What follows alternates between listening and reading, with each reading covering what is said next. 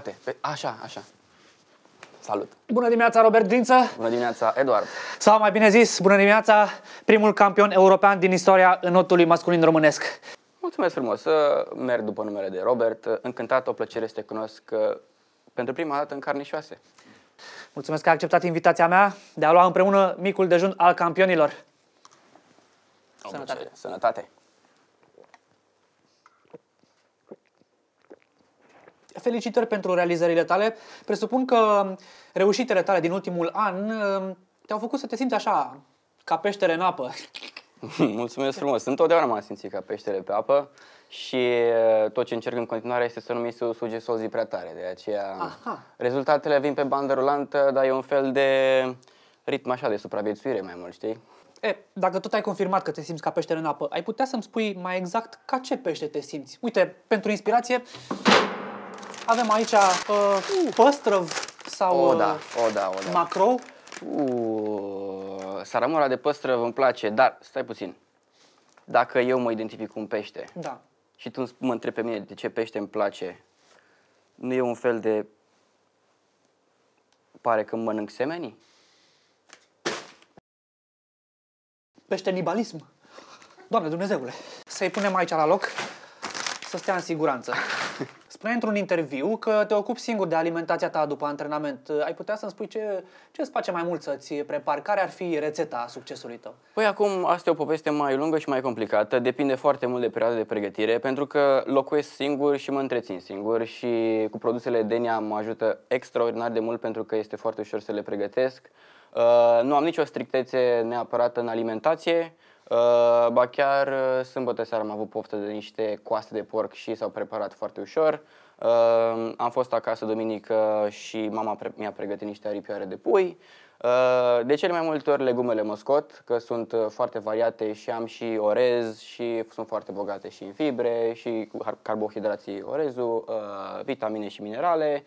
Uh, și în materie de carne aceasta se procură mult mai ușor. Așa că în cea mai mare parte, uh, micul dejun de fiecare dată mi-l pregătesc singur, uh, prânzul între antrenamente este de asemenea cel mai ușor să mi-l pregătesc singur, seara uh, apelez la produsele semi-preparate ori la pește, ori la carne, cu mixuri de legume sau ocazional îmi mai și comand când chiar sunt complet lipsit de energie și epuizat și nu mai sunt în stare nici să pregătesc, nici să curăț după ce pregătesc, așa că câteodată devin și eu comod, trebuie să recunosc. Da, e un cerc vicios. Dacă nu mănânci, n-ai energie ca să comazi de mâncare. Corect.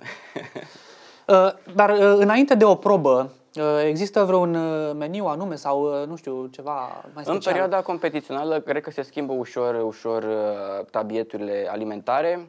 Uh, am mai multă grijă să nu mă încarc prea mult, să nu acumulez uh, orice 100 de grame este trasă după mine în plus și practic mă încetinește, mai ales în natație pentru că ne batem cu sutimile de secundă și s- am, am câștigat probe și am pierdut probe la o sutime de secundă în care este cât un vârf de unghie aproape, efectiv insesizabil și dacă pot avea grijă de aceste mici detalii, uh, vreau să o fac cu desăvârșire și în competiție aportul alimentar este strict necesar pentru uh, consumul energetic de care am parte. Acesta se poate calcula și tatăl meu mă ajută foarte mult din punct de vedere uh, tehnic și științific, să spun așa.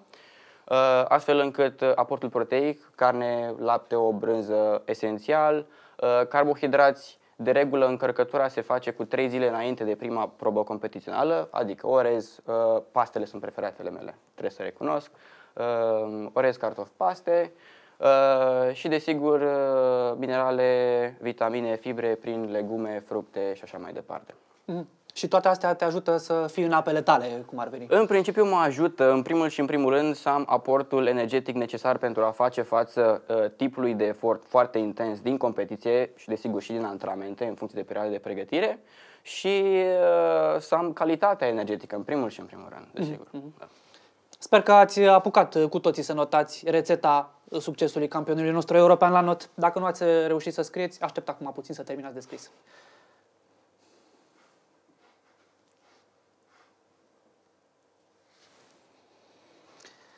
Au avut timp. Au avut? Ah, Bun, atunci o să te întreb. Dacă ar fi să mănânci un singur tip de legumă toată viața, care ar fi acela și de ce? E o întrebare la care nu m-am gândit niciodată, dar aș alege... Timpul a expirat. Bun, uh, ce sfaturi ai pentru cei care nu facem, uh, pardon, pentru cei care nu fac niciun fel de mișcare, uh, pentru că eu fac mișcare, nu e așa, dar pentru uh, restul oamenilor, ce, ce ritual de exerciții ai recomanda unui om obișnuit care nu face mișcare? Nu mie, pentru că eu fac mișcare. Am înțeles. Uh, orice tip de mișcare este binevenit. De la mersul pe jos, care face întotdeauna piciorul frumos, la orice tip de exerciții uh, mobile cu propria greutate a corpului, de la foarte banale, de la flotări, genoflexiuni, abdomene, pentru a-ți întări uh, orice grupă musculară uh, uh, care se pot face și pe cont propriu la tine în casă. Da, tot, uh, nu știu, de când fac podcastul ăsta, tot uh, aud chestia asta, că alimentația nu este singurul lucru care te ajută să fii un campion, dar ești sigur că trebuie și antrenamente, așa, chiar trebuie să Uh, depui efort? știi cum e? nu, nu de pentru mine întreb, că eu chiar, eu chiar Nu, nu, fac te exerciții. cred. Vorbim da. așa, ipotetic. Da, exact, exact. Înțeleg, da. Uh, știi cum e? Toată pregătirea și toată performanța este un cumul de factori, este foarte complexă și practic se divide în pregătire specifică, adică antrenamente specifice în bazinul de not, pregătire fizică pe uscat, care la rândul ei este foarte specifică, mi-ar lua prea mult să intru în detalii aici, uh, cu toate pregătirea pe care eu am făcut-o în ultimul an, pentru că este foarte variată și abordată din foarte multe puncte de vedere, pregătire psihologică, de asemenea, foarte multe detalii, dar știm cu toții cât de importantă este pregătirea mentală și atitudinea necesară pe care să o ai în vedere, să nu te lași copleșit de emoții, de alte performanțe, alte Evident. persoane. Uh, intervine alimentația, care, după cum am spus, crucial să ai aportul esențial energetic uh, uh, pentru a face față efortului din antrenamente și din competiție și pentru a avea o refacere rapidă, pentru a putea face față acestui ciclu de, de pregătire, pentru că uh, cel puțin în natație ne confruntăm cu o oboseală uh, perpetuă, să zic așa, adică continuă. Trebuie să faci față la un, unui nivel de oboseală cât mai mare pentru a, a beneficia ulterior de o performanță mai mare de pe urma oboselii. Și ca să poți să duci toată această încărcătură de oboseală, trebuie să ai grijă și de alimentație, în primul rând, pentru că de- de acolo îți iei uh, principala sursă de, de energie, odihna, de asemenea, somn. Îmi place să dorm și fără somn, de asemenea, n-aș face față uh, pregătirii. Și ultimul aspect de care vreau să vă spun este exact acesta, somnul. Bun. Ție îți place să dormi? O, da. Și cred că și spectatorii noștri chiar asta au început să facă acum. Ai spus într-un interviu, citez, mă antrenez de două ori pe zi, mai puțin duminică. Am încheiat citatul. Ce faci duminică? Și te rog frumos să nu spui că te antrenezi de trei ori pe zi. Nu, nu mă antrenez. Uh, Nu pentru mine, că eu mă antrenez. Nu. Cât De trebuie. regulă, chiar absolut de fiecare dată, foarte rar se întâmplă ca și duminica să fie uh, zi de antrenament, cum o să fie, spre exemplu, duminica viitoare, când voi fi exact cu o zi înainte să plec la campionatul mondial din Abu Dhabi, din bazin scurt. Baftă. Mulțumesc foarte frumos. Uh, în care am nevoie de un contact cu apa, chiar dacă este la un nivel foarte minim de efort. Uh, însă, de regulă, antrenamentele se desfășoară la un microciclu, adică uh, din 5 antrenamente, următorul este liber. Să zic așa, am două antrenamente luni și marți, miercuri am dimineață și după amiază liber pentru a lăsa loc organismului să se refacă cât de cât uh, pentru a putea relua acest microciclu, se numește. Uh, da, în principiu am nevoie de toate aceste pregătire ca, ca să reușesc să acumulez uh, detaliile uh, care pun baza performanței și mai ales la nivelul la care am ajuns, uh, micile detalii fac diferența uh, între locul 1 și locul 2. Dar îți spuneai mai devreme că te antrenezi și pe uscat. Uh, Nu este foarte greu să te deplasezi așa, pe uscat? Sau te pui pe o Uh, placă, pe un skateboard? Am, am încercat și în notul pe uscat, pe o placă tras de mânere și de frânghii, mai mult în perioada uh, lockdown-ului anul trecut. Aha. Însă pregătirea fizică pe uscat este mai mult decât uh, uh, alunecatul pe dușul mea uh, și not, practic simularea notului din apă pe uscat. Nu, nu, este mai mult decât atât. Este vorba de mai mult de condiționare fizică uh, care, ca să intru acum în puține detalii, uh, implică și alergarea de rezistență. Uh, chiar acum două zile am alergat 55 de minute pe bandă pentru a-mi întări capacitatea de rezistență. Da, și eu la fel, tot uh, 56 de minute am alergat. Da. Uh, ajută foarte mult și la capacitatea de refacere mai rapidă. uh, condiționare fizică pe uscat prin antrenamente cu intervale de mare intensitate, uh, de hipertrofie, de rezistență musculară. Toate acestea implică și ridicare de greutăți foarte mari, dar și mai mici, în ritmuri de viteză diferite, Uh, probabil plictisim lumea, dar de aceea am spus că detaliile sunt tehnice și sunt foarte amănunțite și pregătirea este foarte complexă mm, pentru... Nu, chiar este interesant și uh, deja uh, parcă când povestea acum mi-aduceam aminte toată rutina mea zilnică de exerciții fizice. nu așa? Uh, cât de mult s-au schimbat lucrurile în viața ta după aurul de la Budapesta? Te-ai gândit, nu știu, să te folosești de popularitatea proaspăt dobândită pentru a să zicem, candidat la titlul de președinte de bloc, să aduci o schimbare pozitivă în comunitatea ta? Hmm, uh, acest titlu, cred că întotdeauna m-a gândit, oare m-a preocupat, oare ce aș putea eu să fac cu tot ceea ce am dobândit sau am ajuns să am la dispoziție pentru a influența uh, câtuși de puțin lumea din jurul meu înspre mai bine. Chit că este scara mea de bloc sau uh, uh cercul meu de prieteni sau uh, natația din România.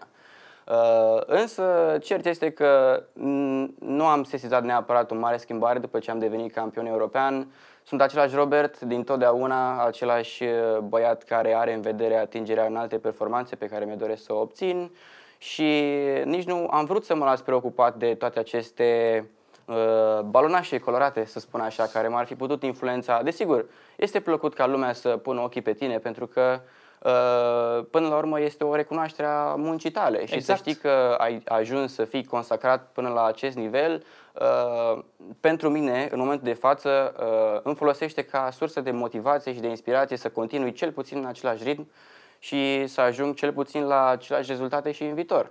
Dar nu este deloc opleșitor și cu siguranță nu mă, nu mă las să uh, afectat uh, în, în sens negativ de toată această notorietate pe care ușor, ușor, într-adevăr, am început să o dobândesc. Superb. Cum ar veni cu sufletul în apă, dar cu picioarele pe pământ. Întotdeauna.